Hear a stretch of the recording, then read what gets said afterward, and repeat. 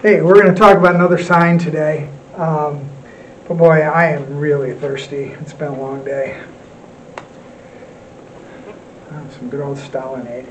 Uh, this sign is uh, by George Orwell. This quote There is no crime, absolutely none, that cannot be condoned when our side commits it.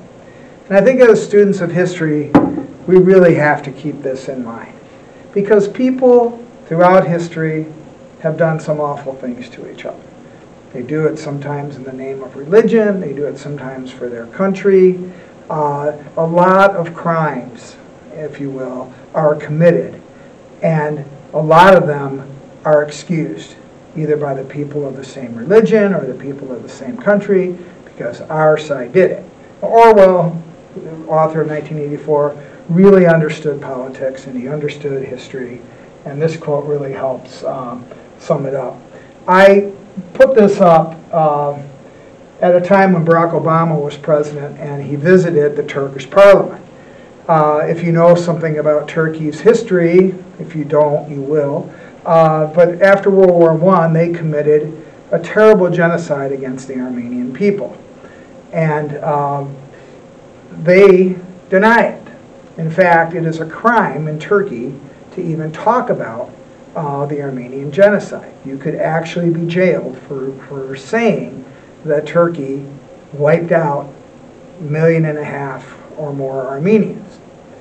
Barack Obama was invited to speak to the Turkish parliament, and he stood there in the Turkish parliament and he said, You know, he said, in the United States, we've had a lot of trouble owning our crimes.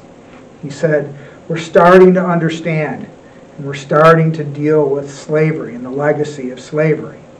Uh, and he said, we have come to grips and are trying to come to grips with the genocide of the Native Americans. And now it's time for you, Turkey, to come to grips with what happened with the Armenians. And as I watched that speech, I was like, oh, are they going to arrest our president? Uh, but it, it was a, a brave moment in American history not just to call out the Turks, but also to admit to the entire world that the United States has committed some crimes too. And for many, many years, we have excused them because we did them.